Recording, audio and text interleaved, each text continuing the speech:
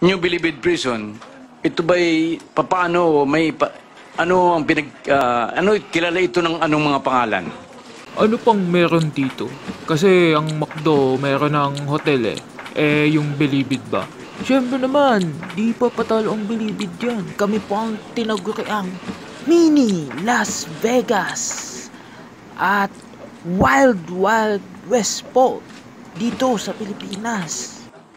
Aba, tinalo pa natin ang Disneyland ah.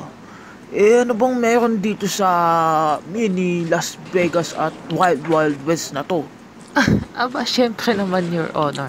Madami pong concerts na nangyayari dito. At hindi po ordinaryong concert, Your Honor. Abay, dapat pala ma-advertise at gawing tourist destination na yung Bilibid, ano? Sige, continue. Yes, Your Honor.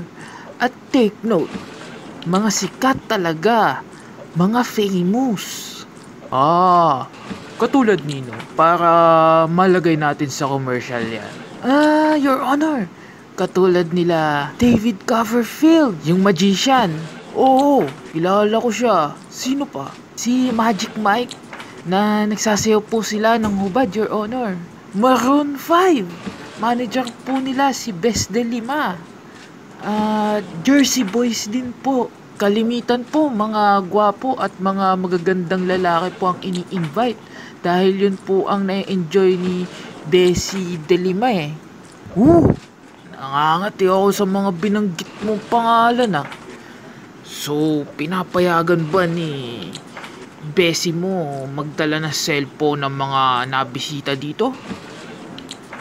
Ah, no, Your Honor eh. During nung time ni Bessie kasi gusto niya siya lang daw may cellphone para siya lang makapag-video at makapagpa-picture sa mga celebrities, Your Honor. Ah, ganun ba? Nakakalungkot naman yan.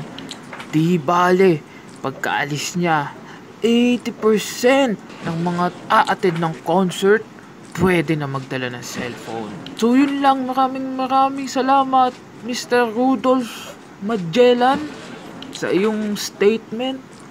Agad-agad po natin gagawing tourist destination yung Bilibid. Maasahan niyo po yan.